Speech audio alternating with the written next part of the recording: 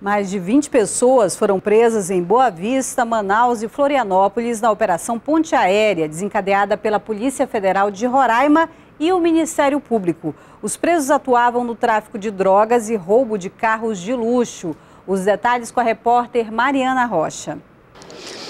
É isso mesmo, segundo a Polícia Federal, os investigados que são de classes alta e média vendiam a maconha do tipo skunk em raves e em boates para jovens com alto poder aquisitivo. Eles também pagavam uma pequena quantia em dinheiro para outras pessoas chamadas de mulas. Elas transportavam essa droga correndo o risco de serem presas. Os suspeitos adquiriam a maconha aqui em Manaus e vendiam primeiro em Boa Vista e posteriormente nas regiões sul e sudeste do país. Nessas duas regiões, eles também adquiriam carros de luxo e produtos de crimes para serem revendidos aqui na região norte. Só em um ano de investigação, no aeroporto de Boa Vista, foram apreendidos 145 quilos da maconha do tipo skunk e 15 pessoas foram presas. Além desses 15 presos no aeroporto de Boa Vista, outras seis pessoas também foram presas na Operação Ponte Aérea. Com elas, a polícia apreendeu uma pistola, drogas,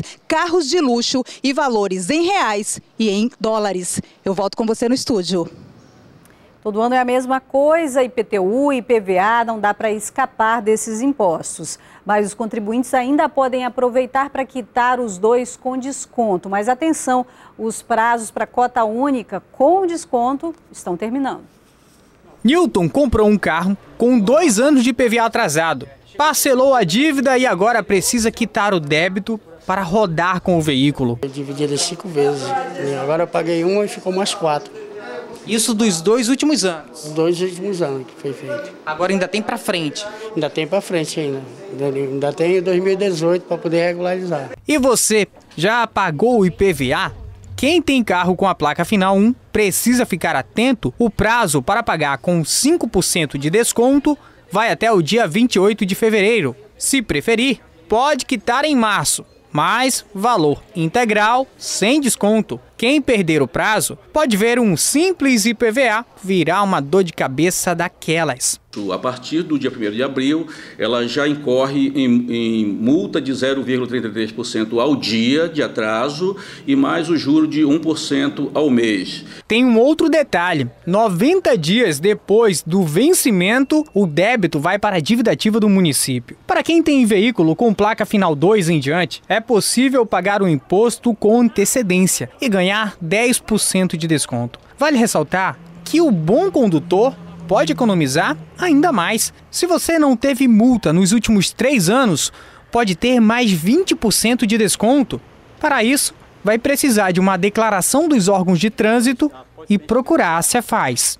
Nós entregamos um formulário para ele, que esse formulário é, tem o um campo próprio para preenchimento dos dados do interessado e anexar os documentos de declaração dos órgãos estaduais, DETRAN, municipal, Manaus Trans e federal, Polícia Rodoviária Federal, constatando que ele, nos últimos três exercícios, não teve multa referente ao seu veículo. No ano passado, o Estado arrecadou mais de 304 milhões de reais com IPVA. Já agora, em 2018, o montante arrecadado chegou a 40 milhões. Além do IPVA, tem um outro imposto que os brasileiros precisam arcar todos os anos. É o Imposto Predial Territorial Urbano, o IPTU, pago à Prefeitura por meio da Secretaria de Finanças do município, a CEMEF.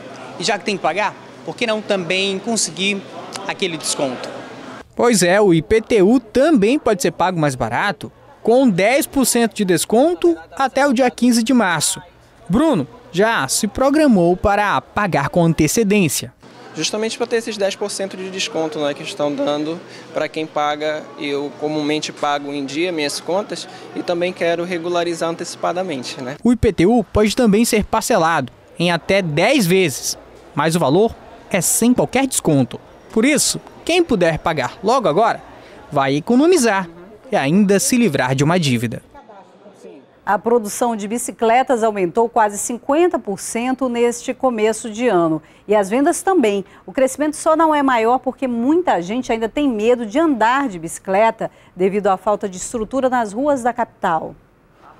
Estoque renovado. Olhando assim, parece que nem tem vendido, né? Mas é o contrário. Janeiro vendeu bem, acima da expectativa. O aumento nas vendas foi de 50% comparado a janeiro do ano passado. Todo mundo agora quer fazer esporte, né?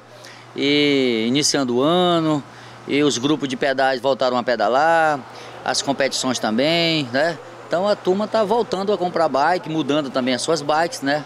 Devido muda o ano, então muda também é, o modelo das bicicletas. É, não tem faltado gente interessada em bicicletas nas lojas. O perfil do consumidor é que às vezes muda. Tem aqueles que querem apenas pedalar por esporte. Tem os que usam para transporte e os ciclistas profissionais como o Adílio.